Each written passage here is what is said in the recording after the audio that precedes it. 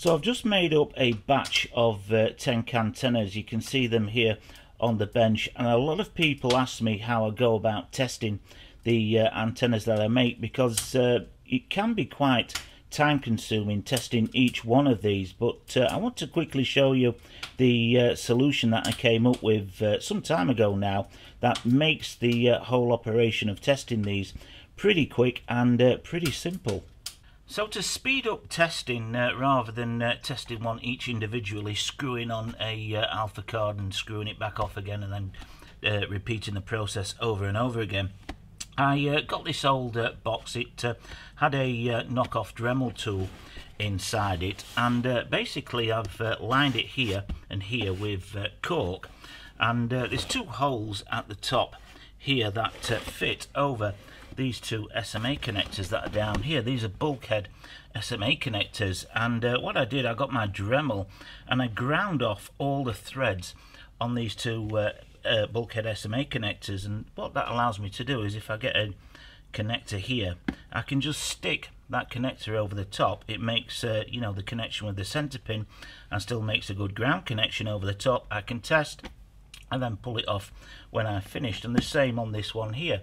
Again and then pull it off when I finish. So let me uh, open this up and show you how simple it is. And uh, as I say, I knocked this up in uh, probably less than an hour and uh, I tidied it up by putting this uh, base on here uh, much later. It's uh, one of those little projects where you just think of something, knock it up, and uh, what you've managed to create, uh, you know, just pretty quickly on the fly, turns out to be uh, a rock solid idea. So let me open this up and show you the inside. So I did attach this base with screws just because, you know, possibly in the future I may want to get in here to replace something on the inside if it breaks and using screws is a lot better than gluing this base on. But here we are on the inside then and uh, as you can see we've just got two identical uh, Alfa cards one here one here. Uh, coax uh, connecting to the uh, Alfa cards one going off to uh, the SMA connector on this side that goes through the cork and the same on the opposite side as well. And uh, then the two uh, USB leads, both coming in through a uh, rough cut hole. I uh, cut in the side here. I had to cut it wide enough to allow the connectors through. But, uh, you know, something that I made quickly on the fly just worked really, really well. And I'm uh, still using it today. I haven't done anything else to it apart from, as I say, put that base on there. So, really, really simple. So, let me show you it in action because I've made uh, a few cantennas recently and uh, I do need to test them. So let's get on with the test then so you can see how uh, this works with the setup. Remember, I'm not breaking any records with these cantennas. I mean, it's going, it's uh, quite low off the ground, obviously, because it's on my bench, and it's going through uh, the brick wall, uh, breeze block and brick, and there's an open field behind me. There's a few houses further on and a school, but we should be able to pick up a few access points, and I know, um, you know, the uh, strength of uh, a fully working cantenna, what it can pick up through this brick wall. So let's give this a test then so you can see how quickly I can get through the cantennas.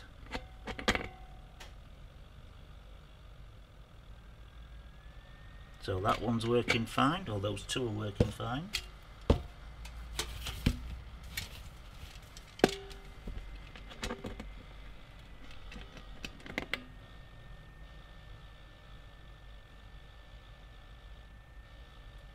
Those two are also working fine.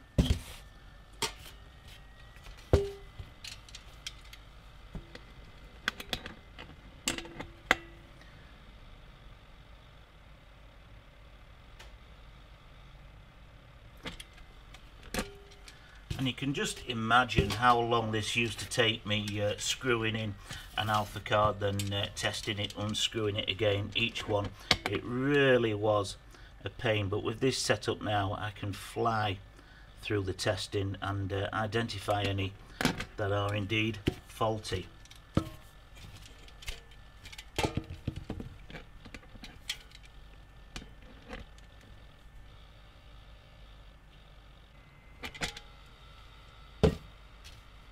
So it's a shame that the uh, software, um, you know, there's no easy way of resetting the software between each test. But basically, uh, they go dead in between when I uh, remove the cantenna and then when I put two fresh cantennas on again, they uh, reactivate. Basically, it gives me a good idea, basically, of, uh, you know, whether a cantenna is wired upright or uh, whether it's going to be a faulty one.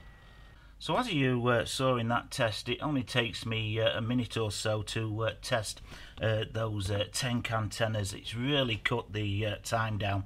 I mean, the only thing with this, I had to turn it round the opposite direction because with the cantennas here, the little mount that I use create for the tripod is a little bit higher than the SMA connector, so you don't get a good connection if you have it lined up this way. So I did have to uh, do what I do have to turn it around and test it in that direction but that's uh, no big deal really. And uh, I can test uh, different antennas. This one here uh, is uh, one that's on a tripod and again exactly the same thing. I can just hold it in there and then release it when I've tested it.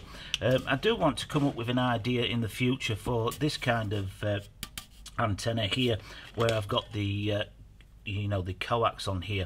I want to uh, create some kind of uh, mount possibly here that uh, I can quickly pop an antenna like this on the mount and then test it with the uh, SMA connector here just to hold it when you've got the flexible coax in in place because at the moment with uh, an antenna like this what I tend to do is hold it and just uh, test one at a time. And uh, you know if I come up with some kind of mount I'll be able to do uh, two at a time like I can with uh, these cantennas here.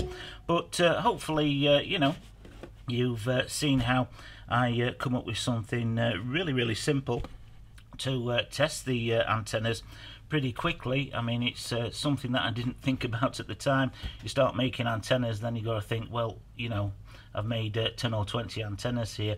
How am I going to test them? Screwing the uh, Alfa card in and out each time really isn't an option. It does take a lot of time to do that. So, uh, you know, any uh, ideas on how I can come up with a mount uh, in there, please, uh, you know, let me know in the comments.